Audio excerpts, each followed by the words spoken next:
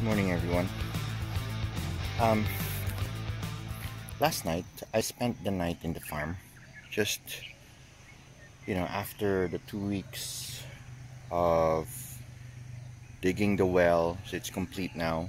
Two week, two weeks of digging the well, and I've also installed um, electricity in the farm. Yeah, and so it was um, as always it's a it's a refreshing experience to be out out here in the open on the field. So let me show you some of my um, some of the peppers that are already starting to produce. Um, and let me give you some introductions. Okay so this is the Apocalypse Scorpion. Now it has a very scary looking um, pod. It's got a stinger. There it is. And it's um, it's producing quite well. As you can see, there's plenty of shoots coming out. I got the seed of this pepper from um, from the States a company called Tradewinds and they sell different types of seeds um, agricultural seeds and super hots is only one one um, department. So they sell heirloom tomatoes, they sell corn, they sell sweet peppers, vegetables. And so I got this seed when I was still living abroad. Um, I never really got the chance to plant them. But now, um, I've initially started germinating the seed in December. And as soon as the sprouts came out, um, I transferred it in hydroponic solution. So it spent the early parts of its life in hydroponic. And then when the farm got completed, I decided, and it was right about that tall when I transferred it, I decided um, I'll transfer it into full soil exposure now. And so yeah so this was still a flower when I when I transferred it and the plant um, amazingly made it and it you know it's starting to produce now and it adjusted really well. So the other plant that I have that's uh, has been producing is this little little midget right here. Now this is a white bullet um, white Peruvian bullet habanero. Quite a mouthful. So there you see there's plenty of there's plenty of pods in this little package here. Um, I have already picked a couple of them. I had some friends over and I asked my friends to taste them and they were blown away because that little pod packs so much. It's extremely spicy. Now I've heard from different social media forums that the term white Peruvian habanero or white bullet Peruvian habanero something to that effect is trademarked. And so unless you get from a certain producer you cannot really call it such so I don't know if this came from that producer because the label uh, when I got this was white Peruvian habanero. So probably it came from that. Um, probably not. Now there's an interesting story.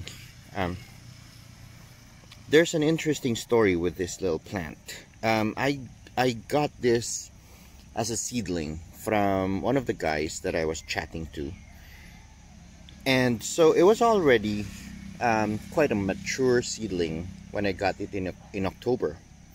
Um, I planted it in a five gallon bucket and then um, a huge storm struck in December and this plant especially got flooded and it died all the leaves fell off um, the root was soaked and I didn't think that it was going to survive. Uh, but then I took a chance. I took out the root from the soil and I stuck it in hydroponic solution. Um, I wasn't really hopeful but I thought hey what the heck? There's an extra hole in the hydro solution. What the heck? And so yeah I guess the plant was was so mature already that it started flowering first um, before producing leaves again. And because of that I call this plant now the Lazarus plant because it's already dead and it came to life. But yeah as you can see it's very tiny. It, it's midget. I think the vegetative growth was stopped because it started producing um, flowers. And yeah so green as can be. So here's another one. Um, this interesting because I also got this as a seedling. It was tiny before. It was like six um, six leaves six true leaves when I got this. And the label was Cangstar's Peach Starkist.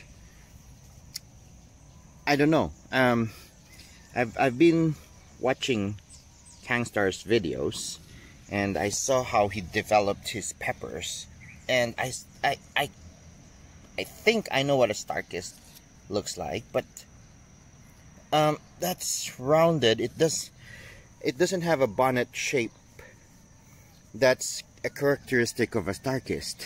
It doesn't have a, you know, a UFO almost sort of shape, but it's more rounded. So it could be a Starkist, but it took on the um, the characteristics of its parent, maybe. Uh, anyway, I have posted a question on Pepper Lovers Club just to help me out in identifying what pepper this is and it's also a heavy producer so you can see there are there are those little um, uh, little pods now. Let me see if I can get a good shot. There. So yeah um here's the farm. Oh I've got another one right here that's uh, that has already produced amazingly here we are looks like habanero but I don't know if it's a habanero also I, I couldn't identify this plant um, I, I have some suspicions but I have asked the help of the pepper community to help me in identifying or confirming what my suspicions are.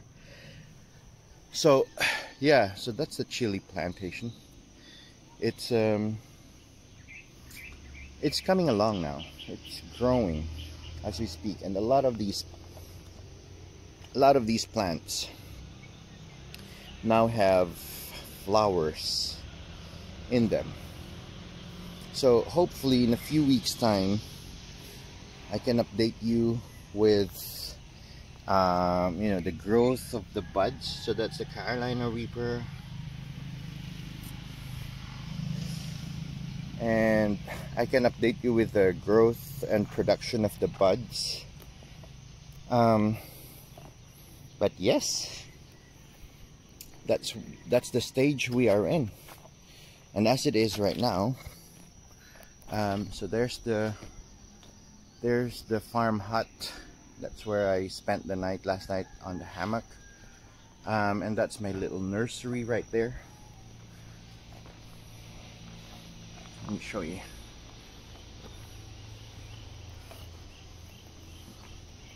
So I got a few I got a few things going on here.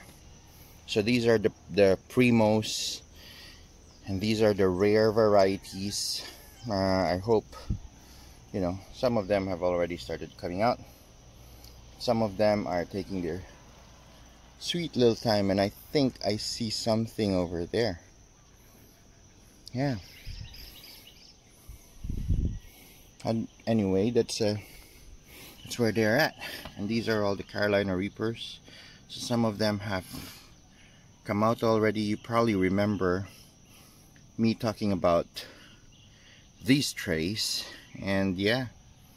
And so these are those are those are habaneros. But for some reason they're struggling and I, I think it's because of the heat and it, it's just very hot these days. So I've got the little bottle over there with um, so those are actually two bottles. One has um, Epsom salt and the other one has calcium nitrate. And I spray them uh, once a week with with that solution with those solutions.